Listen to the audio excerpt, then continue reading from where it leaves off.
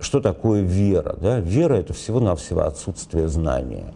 Человек, который знает, что такое керосин, не будет верить в него и в его волшебные свойства. Дикарь.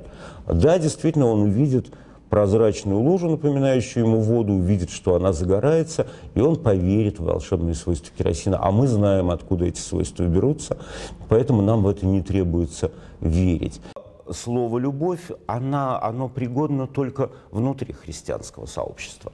А устремленное и направленное наружу, оно чаще всего не имеет этого смысла. И по мысли Павлова религии было место в жизни, но это вот место где-то рядом с хохламской росписью, с гжельской росписью, с балалайками и сувенирными лаптями. Место это, кстати, на самом деле предельно почетно. Обсуждать особенности христианского э, вероучения, обсуждать вопросы там, грехопадения, грехоподнимания, введения или выведения, ну, мне представляется столь же абсурдным, как и обсуждать обмен веществ в Буратино. А заказ там, под номером 5, он содержал в себе твердо копченую колбасу, гречку и еще какие-то, и м- семку семгу. Помню, потому что, потому что каждый раз перечень продуктов очень, очень, очень тщательно обсуждался духовенством, получающим э, за сливы исповеди эти свои э, талончики в столы заказов. Организация, которая прославилась алкоголизмом, развратностью, жадностью, стала анекдотом и притчей, почему-то она решила, что вот именно она должна учить морали. Потому что сейчас русская православная церковь находится в роли содержанки. А я не знаю, а, до какой степени это приятно, и к тому же тогда странные всякие истерики, потому что содержанка должна уметь выслушивать а, критические замечания и должна уметь сносить то, что самодостаточное существо сносить совершенно не обязано. 764 года, которые прошли с момента крещения, ознаменовались только вшами, иконками, лучинками, грязью и бесконечной покорностью.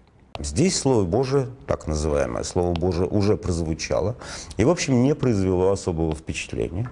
Церковь, позиционирующая себя как некая патриотическая организация, в Великую Отечественную войну, там, где появлялась возможность перейти на сторону неприятеля Советского Союза переходила безоговорочно и, более того, то, что называется, с огоньком и воодушевлением. Это вот то, о чем я говорю, что прежде чем поцеловать папу руку, всегда задумайтесь, что он делал ею 10 минут тому назад.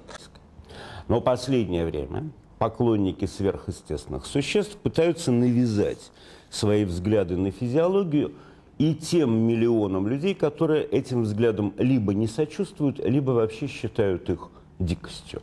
Почему-то никто из них не идет целоваться с прокаженными, например, в Лепрозории. Никто э, не дарит свои квартиры или автомобили бомжам. Да? По крайней мере, такие случаи науки неизвестны.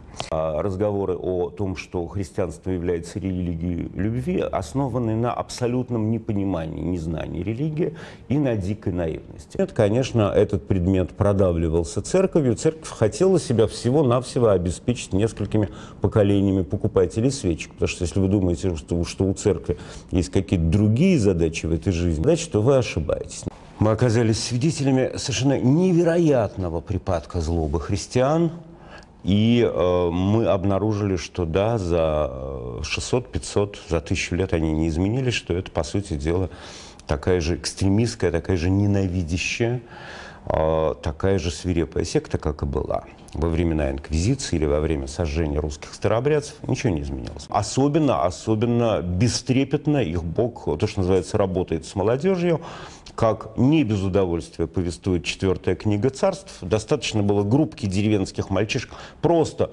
подшутить над кем-то из э, святых э, этого бога, и немедленно эти 42 ребенка были разорваны в клочья. Э, материальное благополучие, дачи в Геленджике, часики, толстые попы на Мерседесах и, в общем, никаких других причин для э, существования у этой организации нету.